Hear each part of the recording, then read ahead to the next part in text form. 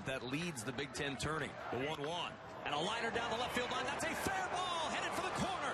Pickett over to try to cut it. It bounces oddly rounding third and headed home is Dawson. Buckeyes lead in the ninth inning. It was another curveball from Marching and it was hanging in the zone. Kuhn tattoos it down into the corner.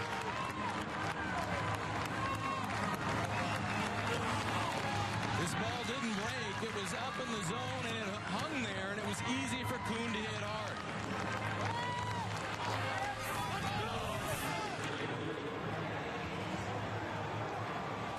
That ball was in the corner, a tough place for anybody to dig that out. And with Dawson's speed at first base, he scores easily.